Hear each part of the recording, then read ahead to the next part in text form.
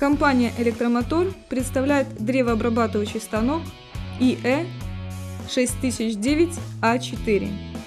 Предназначен для таких функций, как строгание, распиливание, сверление и фрезерование.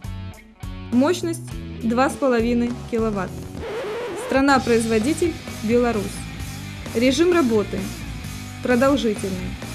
На все станки, приобретенные в компании «Электромотор», предоставляется официальная гарантия.